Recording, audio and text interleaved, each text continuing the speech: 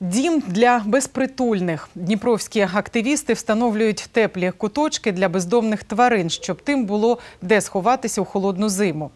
Першу таку будку встановили місяць тому на території парку 40-річчя перемоги. Наразі у місті встановили вже чотири домівки.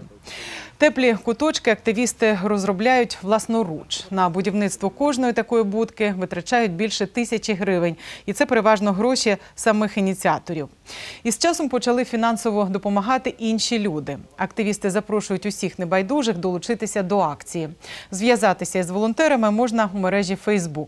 Посилання ви бачите просто зараз на екрані. Действительно хотелось бы, чтобы люди э, помогли либо руками, либо помогли материалом.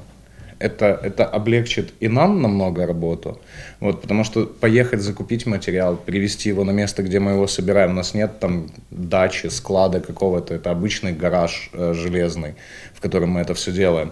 Вот, и это занимает, это как минимум уже три часа работы. Вот три часа это просто закупиться, затариться, привезти это все на место, на месте подрезать. То есть, если есть люди, которые готовы там своими руками это собирать, если есть люди, которые готовы помочь финансово, лучше пусть финансово они купят это, привезут, и мы сделаем эту будку.